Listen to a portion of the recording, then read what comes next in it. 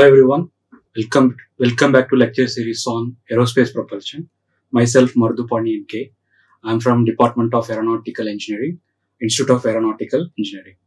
So uh, in this lecture series uh, on aerospace propulsion, so what exactly we are going to see is that so um, we are going to see in detail about the uh, basic or uh, prim, uh, prelim, primary components of an gas turbine engines like intake, how do they work, and combustion system, as well as the turbo machineries like compressor and turbine.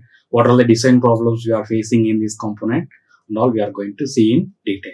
Okay, so as far as in this lecture concern, we are going to see brief about what is this propulsion is all about, and what are the basic uh, classification of this propulsion system. And in that, we are going to specifically see something about a, a gas turbine engine and what is the operating principle of uh, gas turbine engine we are going to see in this today's lecture. So uh, this term, since this course itself having a name of aerospace propulsion, first of all we should know what is this propulsion. So propulsion means basically it is push forward or drive an object forward. Okay, so uh, from this name we can say that uh, this uh, this is a branch of science which basically deals with the system which we are going to use to move an uh, object forward. Okay, so this propulsion term is derived from uh, two uh, Latin words that is pro meaning is a forward, pellere means to derive. Okay, so this propulsion system is basically uh, it is about the uh, system which we are going to use to propel a particular device. Okay, so what is this propulsion system means? A propulsion system is basically a machine which produces the uh, forward force or what we call it as the thrust force. For example, you take uh, our two wheeler or uh, a four wheeler or you take an aircraft, any object or any of these uh, vehicles which needs a propulsion system in order to make it move forward. So that's what we call it as the propulsion system. So what is the need for propulsion system? So basically this course is aerospace propulsion we are going to basically deal with the uh, different types of propulsion system we are using in the aerospace industries or aircraft industry. Okay. So what is the need for this propulsion system in the aerospace industry or aircraft industry in sense? See, you take an aircraft.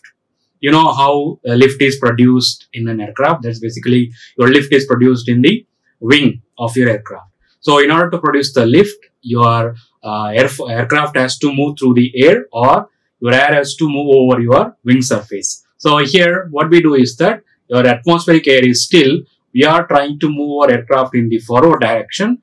Because of that movement over the wing, uh, we create the pressure difference on the top surface and bottom surface. We are able to produce the lift force, which is basically making your aircraft fly in the air, that is float in the air. Okay. So you could say that without this propulsion system, you won't be able to fly the aircraft. That is, first of all, if at all you want to make your aircraft uh, float in the air or lifted in the air, you need to have an uh, movement of your aircraft. So that movement of aircraft is given by this propulsion system. So that movement, uh, the propulsion system basically is producing a thrust force. So what is this thrust force? Is basically it's a mechanical force which is produced by your propulsion system by accelerating a mass of gas or air.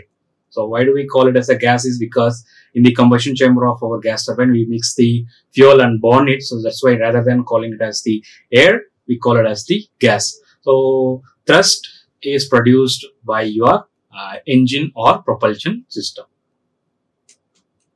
So what are the basic classification of this jet propulsion system? And since we can broadly classify into uh, two categories. One is an air breathing propulsion system and non-air breathing propulsion system. So what is this air breathing propulsion system and what is this uh, non-air breathing propulsion system is basically as this name suggests that a particular propulsion system, uh, if it is utilizing the atmospheric air for uh, its combustion purpose, those type of engine we call it as the air breathing engine. So just like how we human, we can't survive uh, without air. Similarly, this air breathing engine won't be able to survive. That is, we won't be able to operate these um, engines without the uh, atmospheric air. So those type of engine, what we call it as the air breathing engines. Okay. So most of our aircraft or they are using the air breathing engines. Some of the example for these air breathing engines are say your um, uh, automobiles vehicle uh, engines are there, right? Uh, that is reciprocating engine. Similarly, gas turbine engine. They are all the best example for the air breathing engines. So the next uh, category of the propulsion system is a non-air breathing engine. So what is this non-air breathing engine? Is that basically this particular propulsion system will have its own stored oxygen supply for its combustion purpose. See, in order to do one combustion combustion, we need an oxygen. So the source of oxygen for the air breathing engine is from the atmosphere. Whereas for your non-breathing air engine, uh, non-air breathing engines, we will have the stored uh, uh, oxygen in order to do the combustion purpose. So the best example for the uh, non-air breathing engines are the aerospace devices, that is uh, rockets as well as missiles, in which we will have the stored oxygen for the combustion purpose. So those type of engine, what we call it as the non-air breathing engine. So in this aerospace propulsion system, uh, sorry, aerospace propulsion course, what type of um, engine we are going to see is that basically we are going to so mainly focusing on the air breathing engines. Okay. In that too, in the air breathing engine, we are not going to see much about the reciprocating engine. We are going to uh, deal with only the gas turbine engine. That is different type of gas turbine engine, which we are using for the aircraft application. Okay. So what is this gas turbine? It's basically it is a, a internal combustion engine. Okay. Which consists of a compressor combustion chamber and a turbine or you could say it is the uh, internal combustion engine which consists of a, a gas generator that type of uh, engine what we call it as the a gas turbine engine so what exactly this gas turbine engine consists okay if you take any type of gas turbine engine we will have ma major three major component. One is a compressor a combustion chamber and a turbine. Okay. So these three uh, components will present in all type of gas turbine engine irrespective of whatever the type may be. These three component compressor combustion chamber and a turbine they will present in the all type of uh, uh, gas turbine engine. So basically these three components combined together we call it as the gas generator so what is the purpose or what is the function of this gas generator is that it is to produce the high temperature and high pressure gas okay what is the function of this gas generator? It is to produce the high temperature and high pressure gas. This high temperature and high pressure gas can be used to produce the shaft power as well as to produce the thrust force. Okay, so a particular engine may be mainly focusing on a shaft power, particular engine may be uh, mainly focusing on the uh, thrust power. So irrespective of that, the, for that particular engine, we need a high temperature and high pressure gas okay, in order to produce either thrust force or shaft power. So this is schematic of a, a general gas turbine engine. Okay, so here as you can see the major component of your gas turbine engine, it starts with the intake. After intake we have the compressor and after compressor we have the combustion chamber and after combustion chamber we have turbine and we have the nozzle Okay. So in that, in particular engine, we may not have intake, we may not have exhaust, but these three uh, combustion chamber, compressor and turbine, this will be present in the all type of engine. Okay. So, uh, why do we, uh, as I mentioned earlier, so we are going to mainly focusing on the uh, gas turbine in this course is that because you see, initial days when the aircraft was introduced, there we used to have uh, like um, reciprocating engine in order to produce the thrust force, just like the engine which we are using in the uh, automobiles. Either you take a car or two wheeler, there we have we have the reciprocating engines. Okay, but in the aircraft industries nowadays, almost all the aircraft they use the gas turbine rather than the reciprocating engine. Why uh, is that uh, why why we are using only gas turbine in the aircraft industry why not the reciprocating engines because you see first of all uh, for your aircraft application anything any component or any device may should have the uh, least amount of weight because the weight of a particular component is going to be more and more you have to produce more amount of lift force. Okay so more amount of lift force or weight of it is weight is going to be increased. So your lift force generated has to be will be increased that will result in increased size of your wing area. That is once again it is going to increase the weight of your aircraft. So as such uh, we need a compact engine which can produce high amount of uh, thrust force or shaft power. That is why we are going with the gas turbine rather than the reciprocating engine. And similarly, if we are going for the high power, okay, uh, what happens is that the size of your reciprocating engine is going to be bigger and bigger. Okay, and we'll have so much amount of loss in case of reciprocating engine. Okay, that is why we always go with the uh, gas turbine for the aircraft application.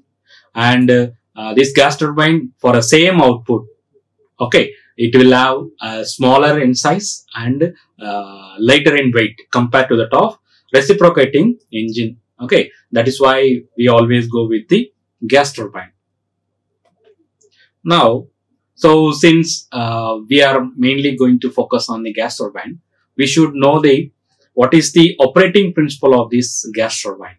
Okay how does this gas turbine engine works Okay, so the gas turbine engine, any gas turbine engine you take, that's basically the thermodynamic process which happens in the uh, turbines. Gas turbines are basically it is a open type Brayton cycle. Okay, open type Brayton cycle in sense the fresh air will enter and it will leave.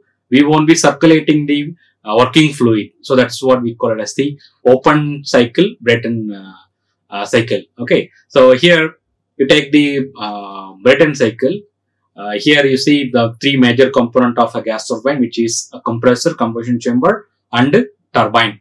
Okay, so here uh, what happens? Your air from your atmosphere enters inside the compressor.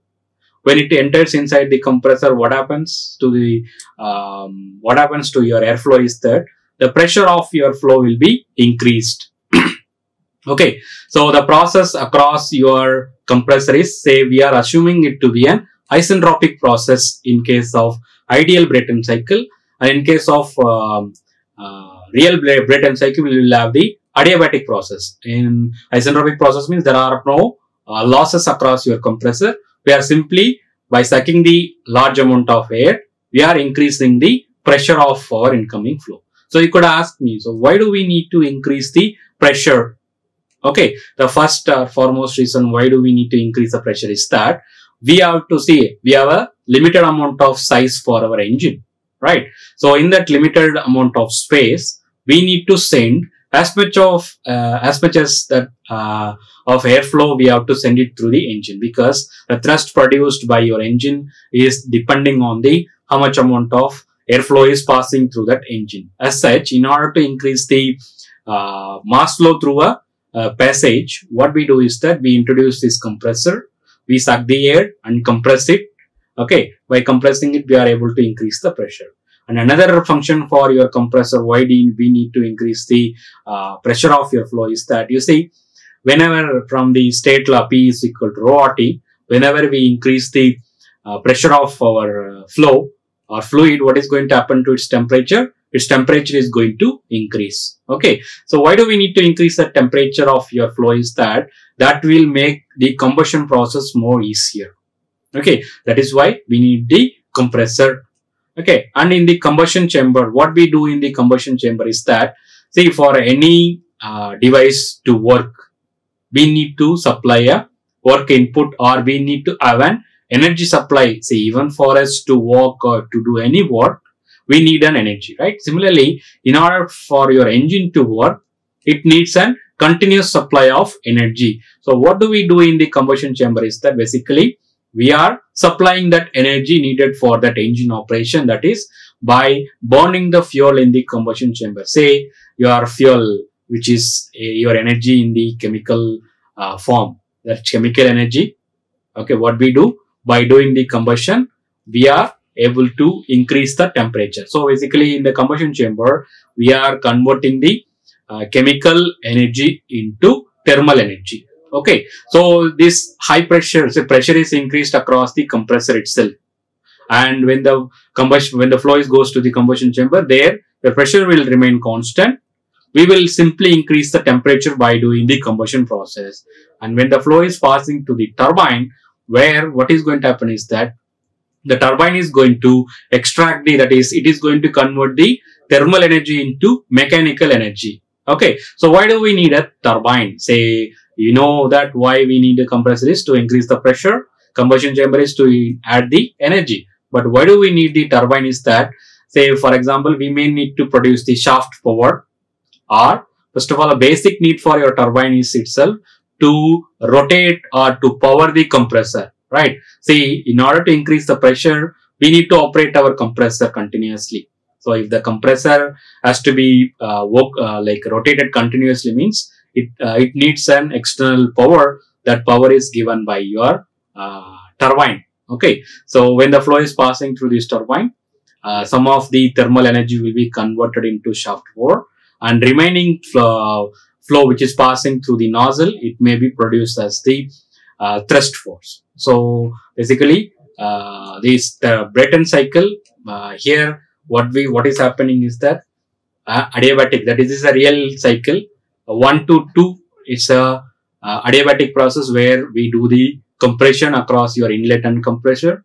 And in the combustion chamber that is we add the uh, heat under constant pressure. And once again when the flow is passing through the turbine we uh, do the expansion both in the turbine as well as in the exhaust nozzle the expansion in exhaust nozzle will result in thrust production. The expansion in the turbine will result in the uh, production of shaft power. Okay. So uh, with this, um, I'll finish this uh, today's lecture. So what we have discussed in today's class, basically, we have started with what is this course is all about and what are the different types of propulsion system and what are the uh, what is the working principle of a gas turbine engine and we have seen the ideal actual as, as well as the actual uh, Brayton cycle. Okay. So, uh, in the next class, we are going to see the different types of gas turbine engines. Like, share and subscribe. Hit the bell icon for more updates.